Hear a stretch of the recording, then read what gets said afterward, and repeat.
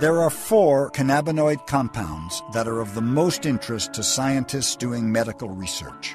Delta 9 tetrahydrocannabinol, or THC, is the principal psychoactive ingredient that creates euphoria in the smoker. THC exerts a wide spectrum of biological effects by mimicking the body's own natural endocannabinoids. If you look in the, the microscope there, you'll see sort of some glistening golf ball like structures.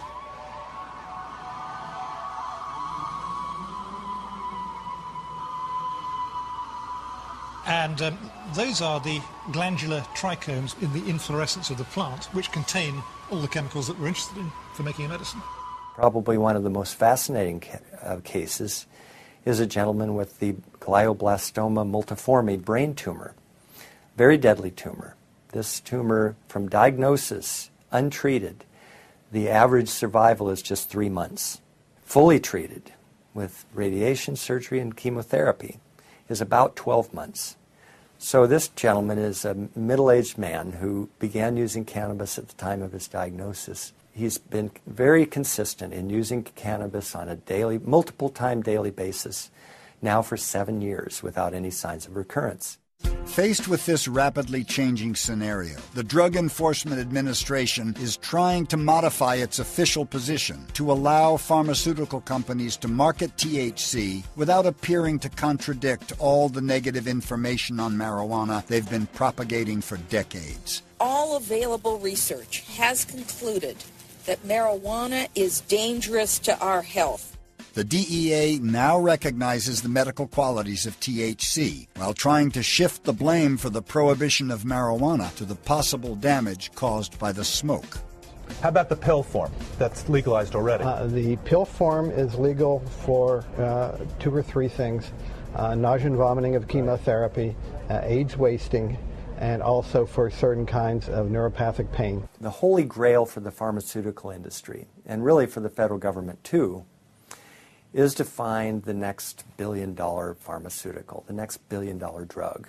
And the pharmaceutical industry now knows that th- these drugs are going to be cannabinoids. They know that the medicinal qualities are there to cure all kinds of medical problems. But I can tell you that the whole plant is uniquely effective. I've yet to find a person in my practice who prefers the prescription pure THC over the natural plant. That just is unheard of in the patients. Cannabidiol, also known as CBD, is a non psychoactive component of cannabis that gives the sedative effect to the high experienced. Amongst its numerous functions, CBD has been shown to have anti inflammatory and analgesic effects. It helps fight diabetes, bacterial infections, and malignant tumors. This compound is also a nerve protectant and has well documented antipsychotic and anxiety reducing effects.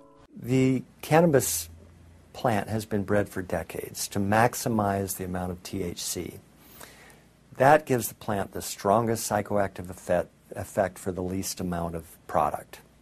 Now, in doing this, we've bred the other cannabinoids out of the plant or down to minuscule amounts.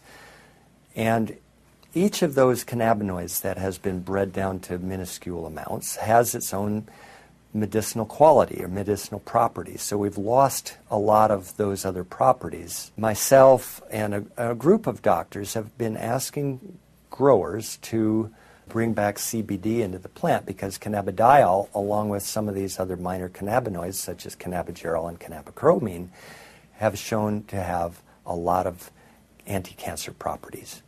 Tetrahydrocannabivarin, or THCV, has been found in significant amounts mostly in South African and some Thai strains of grass. High concentrations of THCV will make the high come on quicker, but last for less time. This chemical compound may eventually prove to be a useful treatment for type 2 diabetes. THCV has been shown to have a protective, preventative effect against malignant tumors. Cannabichromene, or CBC, is a low level cannabinoid. Though little research has been done, scientists believe CBC may have an antidepressant effect, as well as the ability to reduce inflammation. CBC strongly inhibits tumor growth in leukemia and breast cancer.